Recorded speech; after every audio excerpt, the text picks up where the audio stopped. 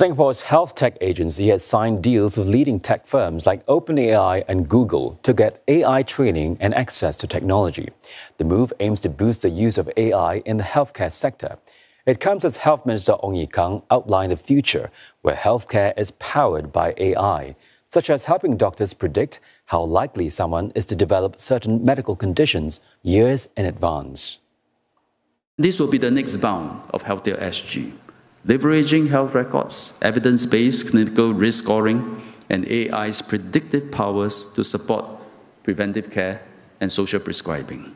While we harness the power of AI, we will continue to maintain the human touch through our family doctors, guiding and empowering residents to take charge of health outcomes before illnesses strikes.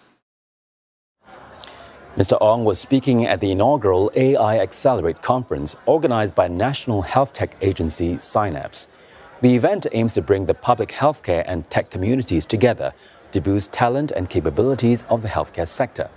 At the conference, the agency also spotlights the various uses of AI in local medical institutions. Nicolas Ng takes us through two of them. Yeah, it fell. Yeah, how did it happen? If you've ended up in the emergency department because of a bad fall, doctors might use an x ray to see if you've suffered a fracture. Right, so unfortunately, there's a fracture. Such doctors don't specialize in reading x rays, which is why they rely on radiologists for a diagnosis, especially for fractures that are hard to spot. Soon, they might use an AI model that works as a second, keener, and faster pair of eyes when spotting fractures. It will be the first time such technology has been rolled out in the A&E. So in the A&E, time is of the essence. We need to prioritize treatment for patients who need urgent treatment and safely discharge those who don't in a timely manner. Stakes are naturally higher in the A&E. This innovation is part of AIM-SG, a program that aims to bring AI to doctors.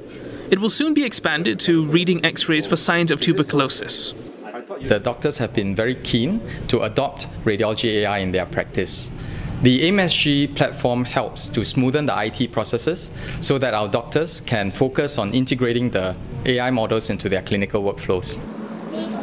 This other team is training a system that can do part of a test for sarcopenia, which is the age-related loss of muscle strength we need screening tools to pick up this condition so that it can be detected, recognized, and appropriately treated before patients start to decline.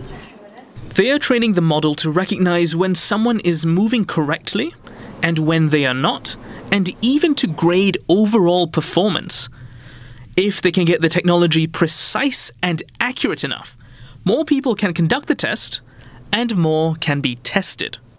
If you want to roll out a mass screening tool, you can imagine that it's not only the hospitals that will use it, it'll be GP clinics, polyclinics. It could be healthy aging centers, um, active aging centers, whereby the staff there could be volunteers, they could be fairly untrained. For Synapxe, backing AI projects is a way to help healthcare providers be more effective. The agency has worked on 90 AI models over the last few years, though support comes with caution it's quite clear that you know there are a lot of uh, products and a lot of companies doing AI today. So what we don't want to do is to chase what is shiny and what is like interesting, and then have a consequence of implementing them. But we really want to start from the problem to solve the problem, and then how do we use AI and other technologies and techniques to solve them. He adds that he's not concerned about AI replacing humans in healthcare.